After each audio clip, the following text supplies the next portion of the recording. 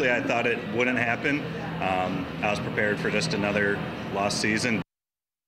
The puck stops here after a 16-week lockout. It looks like the NHL will soon drop the puck on a new, albeit shortened season. News 4's Emily Guggemos is live for you in downtown Buffalo with all the details. Emily?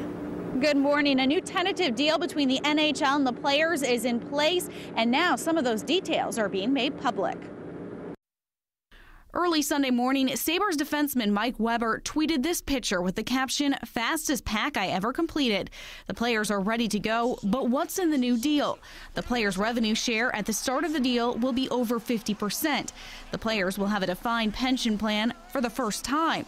Free agent contracts will be limited to seven years, eight if resigning with their current team, and salaries within a contract may not vary by more than 35% year to year, and the lowest year must be at least 50% of the highest year. The deal is for 10 years, with either side being able to opt out of the deal after eight years. There are no changes for eligibility for free agency and salary arbitration, and the minimum salary for this year will be $525,000 and rise to 750,000 by the end of the 10-year deal. Each team may use two buyouts to terminate contracts before the 2013 2014 or 2014 2015 seasons for two thirds of the remaining guaranteed income. The buyout will be included in the player's revenue share, but not the salary cap. And participation in the 2014 Olympic Games is not covered in this contract.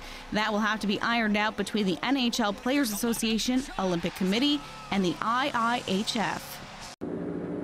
So when can you expect to go to a game? Well, ESPN reported late last night that the NHL memo says that uh, it could potentially be on January 19th. That's the most likely date. But if the ratification process goes smoothly, we could see start date as early as January 15th. Reporting live, Emily Guggemos, News 4 Wake Up.